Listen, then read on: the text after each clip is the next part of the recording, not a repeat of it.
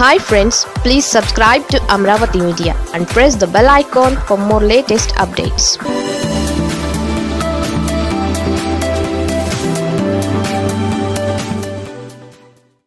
నిన్న నోటాతో పోటీ నేడు గెలిచేస్తానంటుందేంటి? బీజేపీకి నిజంగా అంత సీనుందా? ఉందా దుబ్బాక ఉప ఎన్నికల్లో గెలుపు మాటేమో గాని కమలనాథుల మాటలు కోటలు దాటుతున్నాయి. ప్రత్యర్థుల కోటల్ని కూల్చివేయడం చిటికలో పని అన్నట్లుగా తొడగొడుతున్నారు. నోటాతో పోటీపడి ఓట్లు తెచ్చుకున్న చోట ఏకంగా గెలుపు గురం ఎక్కేస్తామని ప్రగల్భాలు పలుకుతున్నారు. తిరుపతి ఉప ఎన్నికల్లోనూ దుబ్బాక ఫార్ములా అమలు చేసి వచ్చే సార్వత్రిక ఎన్నికలకు బ్రహ్మాండమైన టీజర్ వదులుతామని అంటున్నారు. దుబ్బాక గెలుపు ఇచ్చిన ఊపుతో తిరుపతి లోక్సభ ఉప ఎన్నికలకు కాలు దువ్వుతున్న కమలనాథుల తీరు చూస్తూ ఉంటే వారు అతిగా ఆవేశపడి అత్యాశకు పోతున్నారేమో అనిపించక మానదు. వాస్తవానికి బీజేపీ పరిస్థితి తెలంగాణలో వేరు ఏపీలో వేరు. ఏపీతో పోల్చుకుంటే తెలంగాణలో బీజేపీ బలం ఎప్పుడూ ఎక్కువగానే ఉంటోంది. పంతొమ్మిది వందల తొంభై ఎనిమిది లోక్సభ ఎన్నికల నుంచి అది రుజువు అవుతోంది. బీజేపీకి ఆ ప్రాంతంలో ఉన్న బలాన్ని చూసే చంద్రబాబు ఆ పార్టీతో చెలిమి చేశారు. అది టీడీపీకి వర్కౌట్ అయింది కూడా. అయితే అదే బీజేపీకి ఏపీలో శాపంగా మారిందన్న విషయం అందరూ అంగీకరించేదే. కేంద్రంలో రికార్డు స్థాయి విజయాన్ని సొంతం చేసుకున్న బీజేపీకి గత ఎన్నికల్లో చాలా చోట్ల నోటా కన్నా తక్కువ ఓట్లు రావడం వెనుక టీడీపీ ఆ పార్టీకి వ్యతిరేకంగా చేసిన ప్రచారమే ప్రధాన కారణం అయింది. ఏడాదిన్నర క్రితం జరిగిన ఆ ఎన్నికలతో పోల్చుకుంటే ఏపీలో బీజేపీ క్రొత్తగా బలపడిందేమీ లేదు. పార్టీ అధ్యక్షుడి మార్పు టీడీపీకి తోక పార్టీ అన్న ప్రచారాన్ని చెరిపేసుకునే ప్రయత్నం చేయడం ఇటీవల ఏపీలో బీజేపీ సాధించిన విజయాలు ఏమైనా ఉన్నాయా అంటే ఈ రెండే. పైగా రాష్ట్రానికి మరి ముఖ్యంగా రాయలసీమకు వరప్రదాయని లాంటి పోలవరం ప్రాజెక్టుకు నిధుల కోత వేయడం రాష్ట్రానికి సాయం అందించే విషయంలో చూపుతున్న వివక్ష ప్రత్యేక హోదా హామీని విస్మరించడం వంటివి ఇంకా ఏపీ ప్రజల మదిలో మెదులుతూనే ఉన్నాయి. ఇలాంటి పరిస్థితుల్లో త్వరలో జరిగే తిరుపతి ఉప ఎన్నికలో గెలుపు తమదేనని బీజేపీ తొడకొడుతోంది. తొందరపడి కోయిల ముందే కూసినట్లుగా ఉప ఎన్నికలకు ఎలక్షన్ కమిషన్ షెడ్యూల్ ప్రకటించక ముందే ఎక్కడెక్కడ నుంచో కమలనాథులు తిరుపతికి క్యూ కట్టేస్తున్నారు అధ్యక్ష పదవి దక్కిన నాటి నుంచి రాష్ట్రమంతా కలియ తిరిగేస్తూ మంచి దూకుడు మీద ఉన్న సోము వీర్రాజుకు ప్రక్క రాష్ట్రమైన తెలంగాణలోని దుబ్బాక ఉప ఎన్నిక ఫలితం రూపంలో కఠిన పరీక్ష ఎదురైంది. వైసీపీ ఎంపీ బల్లి దుర్గాప్రసాద్ మరణంతో జరగనున్న తిరుపతి ఉప ఎన్నికల్లో దుబ్బాక మాదిరిగానే సత్తా చాటాలని ఢిల్లీ పెద్దల నుంచి ఆదేశాలు అందడంతో ఆయన హడావిడి మొదలుపెట్టేశారు. రెండు రోజుల క్రితం ఆయన తిరుపతిలో మీటింగ్ పెట్టి ఉప ఎన్నికలో గెలుపు తమదేనన్న ధీమా వ్యక్తం చేశారు. ఆ తర్వాత ఇప్పుడు కేంద్ర సహాయ మంత్రి హోదాలో తెలంగాణ కీలక నేత కిషన్ రెడ్డి రంగంలోకి దిగారు.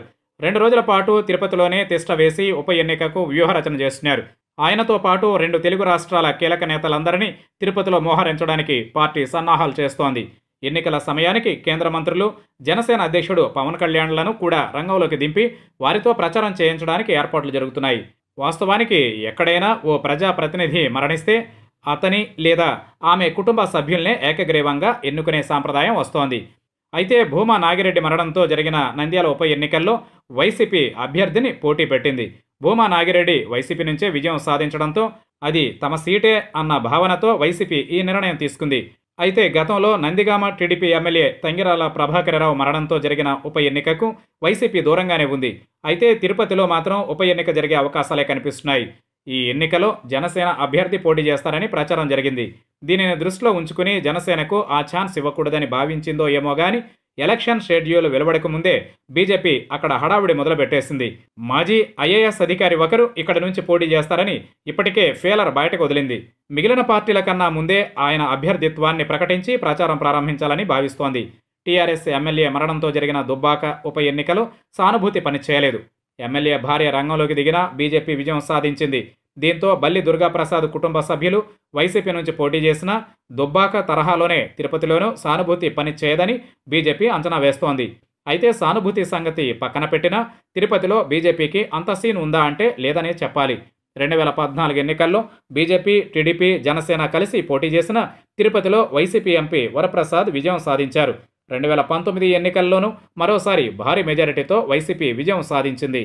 ఈ ఎన్నికల్లో బీజేపీకి నోటా కంటే తక్కువ ఓట్లు వచ్చాయి నోటాకు ఒకటి పాయింట్ తొమ్మిది ఆరు శాతం ఓట్లు వస్తే బీజేపీ అభ్యర్థి బొమ్మి శ్రీహరిరావు సాధించిన ఓట్లు కేవలం ఒకటి పాయింట్ రెండు మూడు శాతం. ఈ ఎన్నికల్లో టీడీపీకి ముప్పై ఏడు పాయింట్ ఆరు ఐదు శాతం వైసీపీకి యాభై ఐదు పాయింట్ సున్నా మూడు శాతం ఓట్లు లభించాయి. వైసీపీ అభ్యర్థి బల్లి దుర్గాప్రసాద్ దాదాపు రెండు లక్షల పాతిక వేల ఓట్ల మెజారిటీతో విజయం సాధించారు. అలాంటి స్థానాన్ని బీజేపీ తన ఖాతాలో వేసుకోవాలని ఉవ్విళ్ళూరడాన్ని ఆత్మవిశ్వాసం అనుకోవాలా? అత్యాశ అత్యుత్సాహం అనుకోవాలా? ఒకవేళ బీజేపీ టీడీపీ జనసేన కలిసి పోటీ చేసినా వైసీపీని ఢీ కొట్టడం కష్టమే. ఈ మూడు పార్టీల ఓట్ల శాతం కన్నా వైసీపీకి దాదాపు పదిహేను శాతం అదనపు ఓటింగ్ ఉందని గత ఎన్నికల్లోనే రుజువైంది. తిరుపతి పార్లమెంటు పరిధిలోని ఏడు అసెంబ్లీ స్థానాల్లోనూ వైసీపీ ఎమ్మెల్యేలే ఉండడం ఇక్కడ గమనించాలి. టీడీపీ హయాంలో జరిగిన నంద్యాల ఉప ఎన్నికల్లో వైసీపీ ఎంత ఎఫర్ట్ పెట్టినా అధికార టీడీపీ అక్కడ విజయం సాధించింది. అంటే ఉప ఎన్నికల్లో అధికార పార్టీ హవా ఏ రీతిలో ఉంటుందో అర్థం చేసుకోవచ్చు.